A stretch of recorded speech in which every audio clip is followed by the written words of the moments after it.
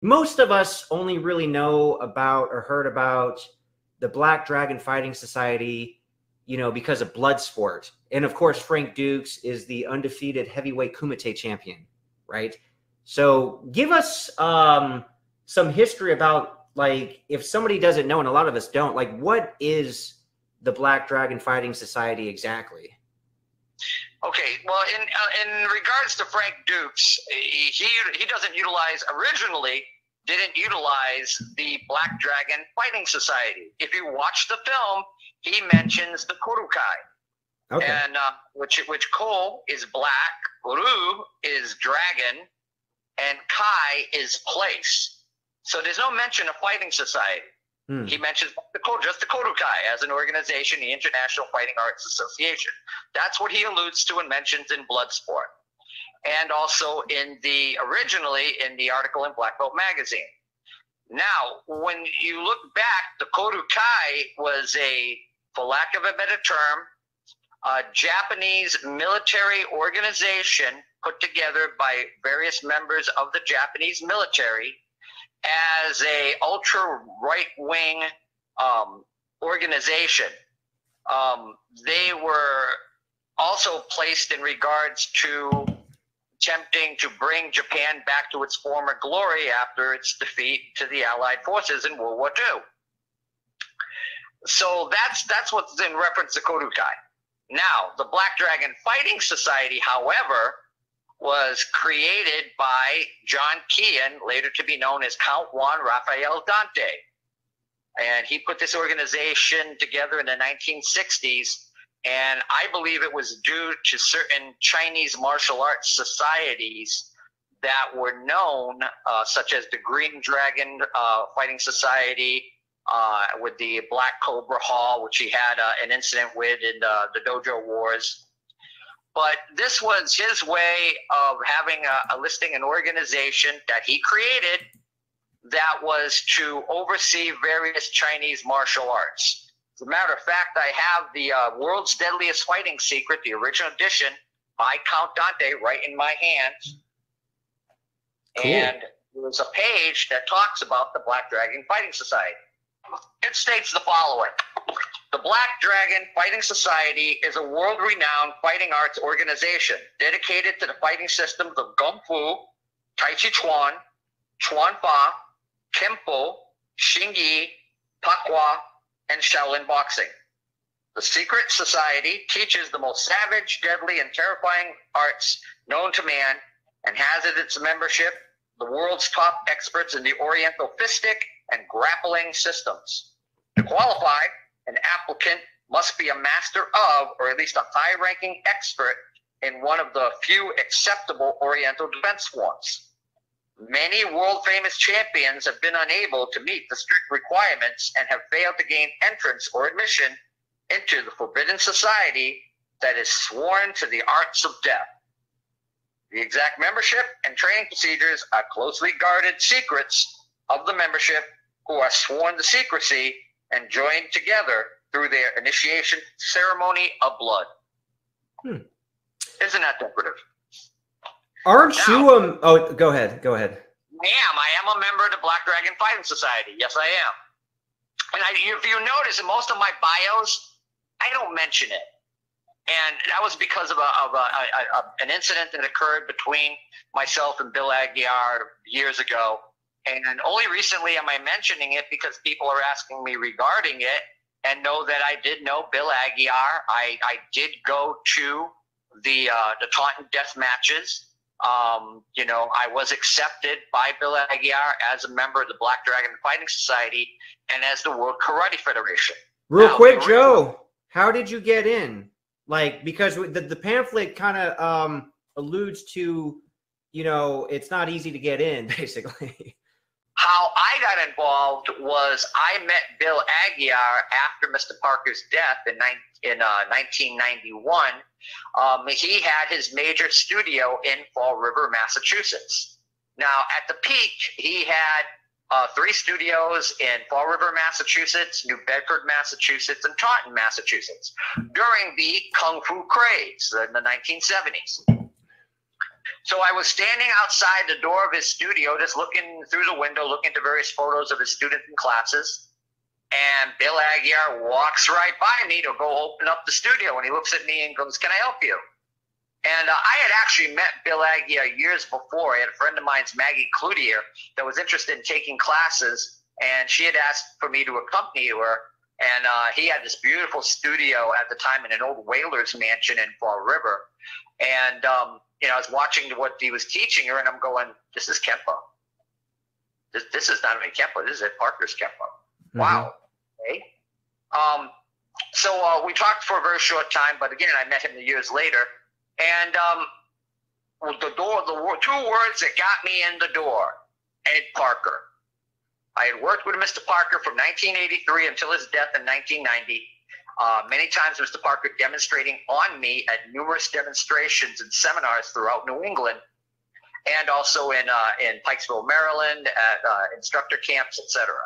So um, that's what got me in because uh, in uh, the book Battle Axe: A Warrior's Tale by John McSweeney, the father of Irish karate, he talked about taking classes with Mr. Parker during the weekdays in the afternoon while living in California and included in those afternoon classes was one, John Keehan, who had left the USKA and had gone to train with Mr. Parker in Kempo.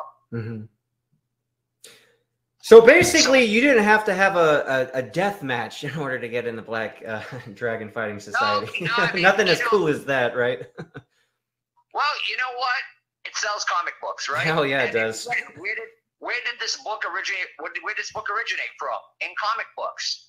Do you know at one point, uh, Bill Aguiar once told me that, and he had the receipts, that how much Count Dante was paying Marvel and DC and other men's magazines to have his ads hmm. came up to ten thousand dollars a month. Which would be like a hundred thousand these days. You betcha. That's which crazy. means imagine the kind of money he was making off the books in order to be able to pay that out. Wow, crazy. But uh, that's what got me in the door. I was uh, I was uh, I had worked with Mr. Parker. I was an IKKA member, and according to the World Karate Federation, if you were an IKKA member, you were accepted into the World Karate Federation. Well, let me ask you this, man. Like, what what's the actual benefit of being a member of the uh, you know the Black Dragon Fighting Society, other than like, hey, that's a cool title? Like, what's the benefit? Well, at the time, uh, you were able to uh, get. Uh, they were they were creating manuals for different ranks. Um, basically, the the system of Dante that was presently taught was a combination of Kodokan Judo, uh, Jiu-Jitsu, uh, Tracy Ed Parker, and later Tracy Kempo. Because that's the first thing I noticed. First time I ever saw them do a class they dropped into a meditating horse stance and close, and that was their salutation. And that was the old salutation that Ed Parker would use in the 1950s. Hmm. And six, you're doing Kempo. You know, and it's like the old joke either in Doonesbury or uh, or uh, uh, Bloom County. We have met the enemy, and they are us. you know. So when I watch Kempo people make fun of Count Dante and the world's deadliest Writing secret book, I have to laugh. I go, dude, dude, you know what? That one figure you're pointing at him, you got four others pointing at you you know, and that that's the key. I mean, that was one of the foundation arts. Also, learning poison hand strikes, which are various open hand strikes, which are basically the, one of the main elements of what the world's deadliest fighting secret book is all about. It's various poison hand strikes, mm. uh, kung fu and kenpo, and um, he just organized them in the book. Hey, let me ask you this, man. So, whatever happened to you and Bill Aguiar? You guys aren't cool anymore, then? Well, he's dead. What? Oh no, I mean his son. What's his son? Oh, no, I talked. I talked to his son now, and you know, because uh, look, simply stated, I've watched everything that's gone on with Frank Dux and Ashida Kim and Don Miskell, and recently a, a person I knew, Brad Marshall, and you know, none of them trained long enough with Count Dante to make to make it worth a lick. Um, most of them didn't. Uh, other people they mentioned, like Lawrence Day, you can look up on YouTube Lawrence Day going, look, I had a drinking problem at the time. I trained for like a couple of weeks with him, occasional classes, and that was it. He freely admits it himself. So, you know, Frank Dux, um, you know, I have, I have, Frank Dux was never mentioned, according to Bill Aguiar, and Bill Aguiar simply stated was the rightful inheritor to Count Dante's curriculum. Okay. If you look in 1976, there was a three-part article written by Massad Ayoob, who, by the way, is still alive, and you can ask him personally about it. He's, uh, I believe he's 75 years old. He's one of the premier handgun experts who teaches seminars all over the world. He has uh, the Massad Ayoob method, and he's out of Florida now, originally from Massachusetts. And he did a big three-part article, one of the longest articles, by the way, ever written in the history of Black Belt Magazine. Hmm. And it's all done at Bill Aguiar's school. I find it's really funny when I see these so-called alleged Black Dragon Fighting Society members who aren't sit there and use photographs from that article, which is where Bill Aguiar's school in Fall River, Massachusetts. Mm-hmm. Yeah, many of them can't even pronounce the guy's name. If I had a quarter for every time somebody called him Aguilar, I'd put a down payment on a Porsche. You know, they, they can't even pronounce the man's name correctly. but, you know, the bottom line is like, you know, we talk about Ashida Kim.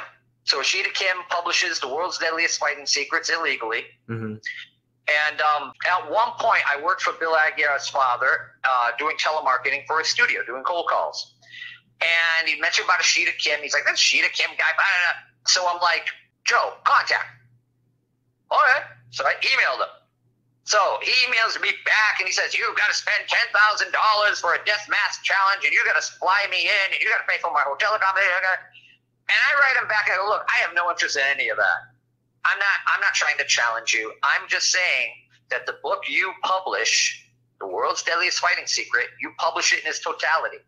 Hey, there's a phone number on the inside back cover. Why don't you call that phone number? It's been in service for the last 26 years.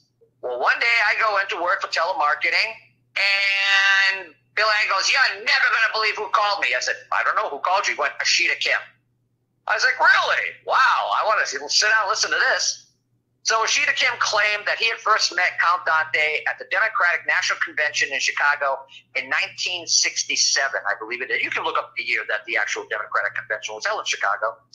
But if you look at Radford Davis, it's Ashida Kim's real name, Sure. and look at his chronological age, what was he, 10? Maybe 11? Mhm. What did he do? Stop by the convention on his way back from Little League? You know, do you think that the you know Grandmaster Count Dante sat there and taught his deepest, darkest secrets to a to a to a preteen? You know, so uh, I look at into stuff and they've got the whole the stories have got more holes than a colander. It's Mm. just I just look at them and go, no, man, just doesn't make sense.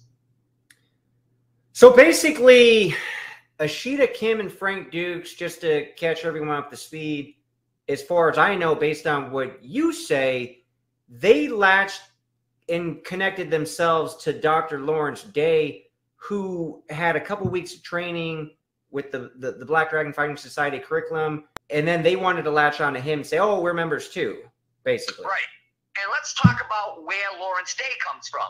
Now, ironically, he studied an art called Shaolin Do, which was brought to America by two Indonesian gentlemen, Sin Thay, and I, uh, the name of his brother is eluding me right now, who, by the way, I just met last weekend at Dragon Fest.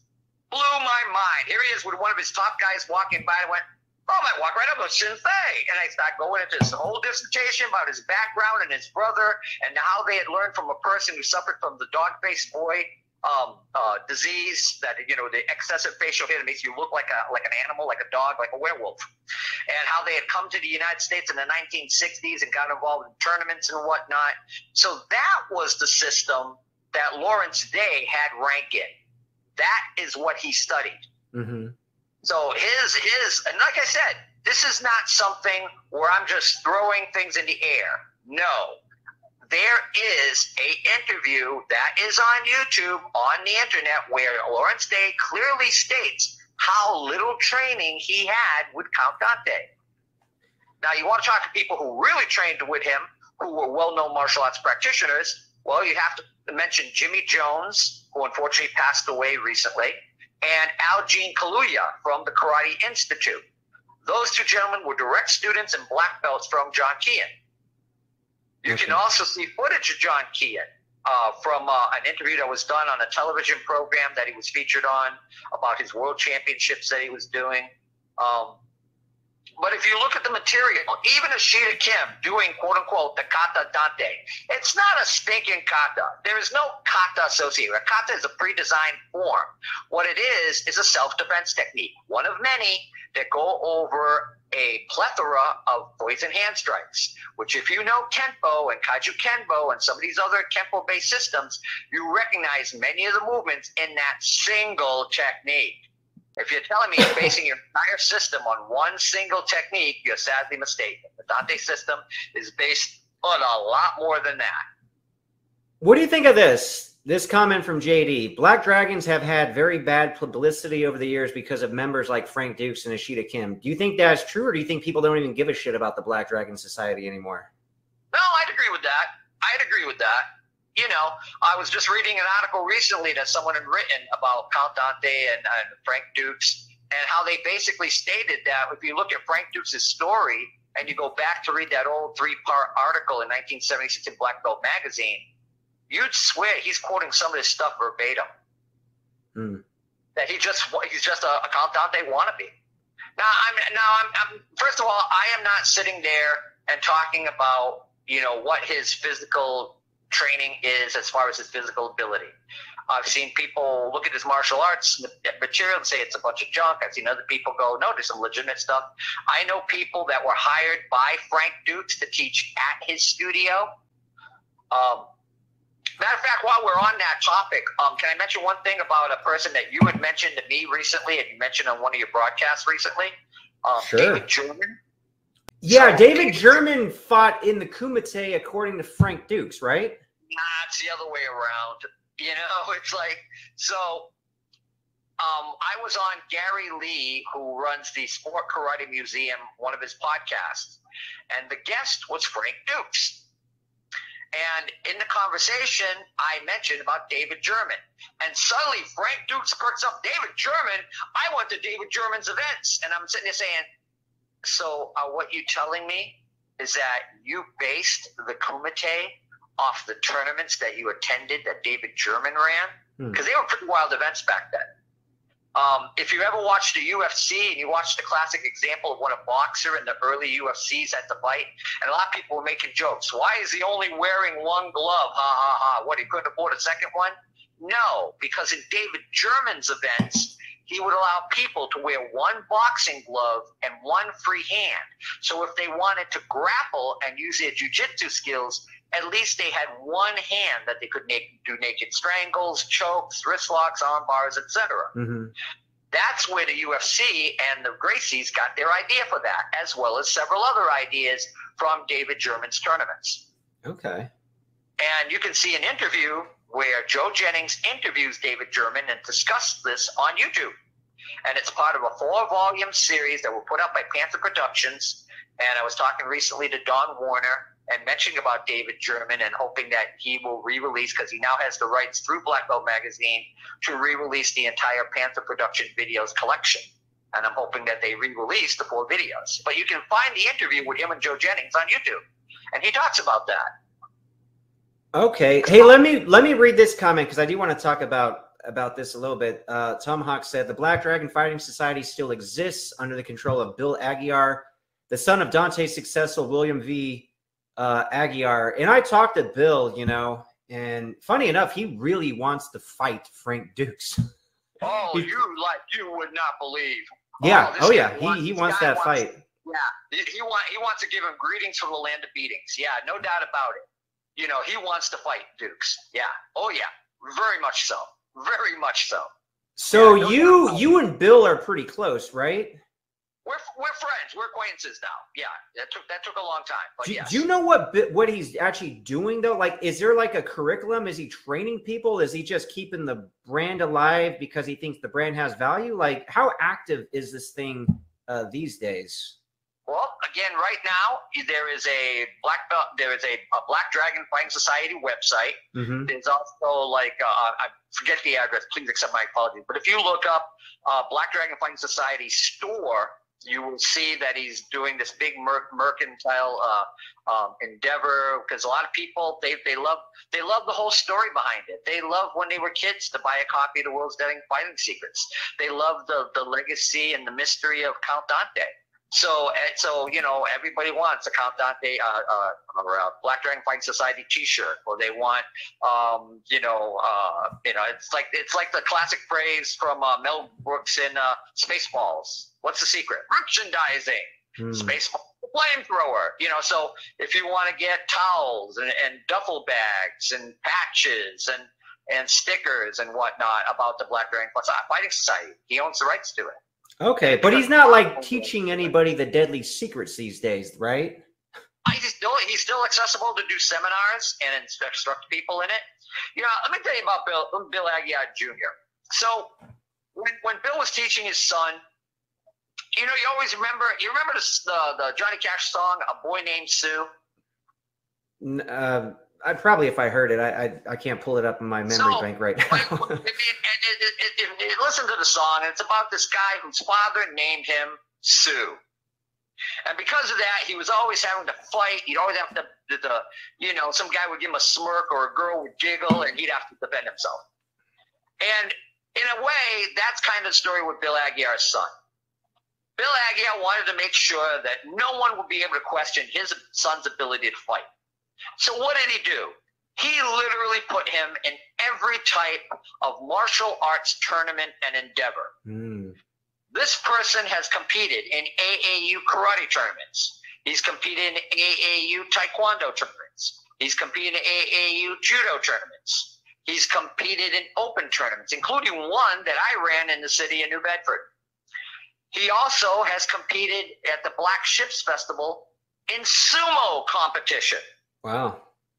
He has literally done, he's competed in, in, in PAL boxing events. He has literally competed in every major form of fistic or grappling endeavor that was available pre UFC and MMA. That's why he wants to fight Frank Dux to get a piece of the uh, undefeated heavyweight Kumite champion. You know what? Is that, wouldn't that be wild debate? What happened? Well, he, if he's undefeated champion, I beat him. What's that make me? Yeah, pretty damn good is what it makes them. yeah. But uh, you know, as far as that goes, but I'm again, I'm clarifying this once in a while, and I'm naming names. The following individuals do not, I repeat, do not have the right nor the authorization to use the Black Dragon Fighting Society. They are Frank Dux, Ashida Kim, Don Miskell, and recently Brad Marshall. Well, that's really shocking. Brad Marshall got involved with Miskell. Hmm. And let me tell you something. I want to clarify another important point here, David. This isn't something where I'm just talking behind somebody's back. At the Action Martial Arts event one year, Jim Brian Fury brought in Ashida Kim and also Don Miskell. And I told both of these gentlemen to their face that neither one of them had the right nor the authorization to use the Black Dragon Fighting Society name. Mm-hmm. I have no problem saying that to anyone. I am a martial arts historian. And simply stated, all things considered, hey man, I got no fish to fry. Sure. Because if I was really that adamant about the organization, gee, don't you think I'd mention it in all my bios and all these different books I've been in? Mm-hmm. But I don't. But recently, because I saw these people doing this miscarriage of justice and falsely claiming to be members of, of Count Dante's organization and be the inheritor to Black Dragon Fight Society, those are lies. The only person who I know for a fact has received the authorization to do so is Bill Aguiar Sr. and the inheritor of that, his son, Bill Aguiar Jr. Okay. That's it. Nobody else that I know of.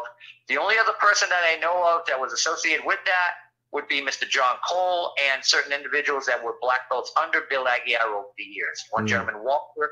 Um, Bill Aguiar did an updated um, reprint of the World's Deadliest Fighting Secret, adding 33 more pages about the Dante system. Um, Walter was featured prominently in the photos that were originally done with uh, Doug Dwyer, with uh, Count Dante, with the original text. Um, you know, those are the people. Those are the people that really did the system. I mean, like I said, it wasn't like he was hiding. He did three commercial schools. If you look in old issues of Official Karate Yearbook, you will find on I on the East Coast, You will always see Bill Aguiar mentioned. You will see him featured, I want to say, in the 1976 um, official karate uh, yearbook, a full page photo, and a mention of Bill Aguiar as Count Dante's inheritor. You will see, like I said, he's been also mentioned in official karate's defense combat. There's an, uh, an article, and there's been small mentions about him, and also an extensive article on him and his training. This is all available as easily as eBay, folks. This Sure. is stuff that's hidden and not known.